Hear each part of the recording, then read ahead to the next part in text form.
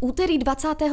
července obdržel starosta města Radim Holiš písemnou rezignaci Kristýny Kubečkové na funkci ředitelky základní školy pod Skalkou a to k termínu 31.7.2017. Rychle jsme jednali s paní zástupkyní, jestli bude schopná ochotná převzít vedení školy po dobu, než bude nový ředitel nebo ředitelka, což se teda podařilo domluvit a zároveň 31.7. vyhlásila rada nový konkurs na nového ředitele či ředitel ředitelku školy. Možnost přihlásit se do konkurzu budou mít zájemci až do 27. září.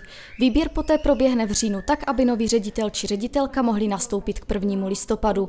Podmínky výběrového řízení upravuje školský zákon. My v konkurzním řízení eh, jsme stanovili ještě některé další požadavky, které by měl uchazeč splňovat, to znamená, měl by mít určité znalosti a vědomosti v oblasti organizace a řízení příspěvkových organizací a v oblasti školských zákonů, v oblasti pracovně právních vztahů.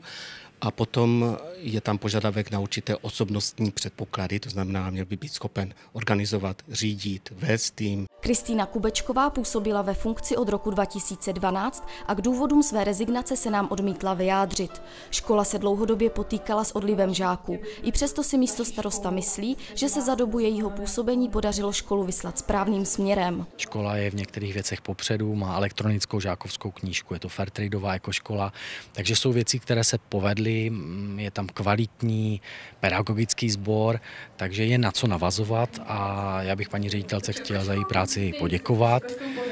No a věříme, že do budoucna se podaří najít ten diamant mezi možnými řediteli a ten mix kvalitního pedagogického sboru, dobrého směru školy a právě výborného nového ředitele pomůže nastavit správný trend tak, aby se na podskalku zase vrátili děti a patřila mezi stabilní a kvalitní školy v našem městě.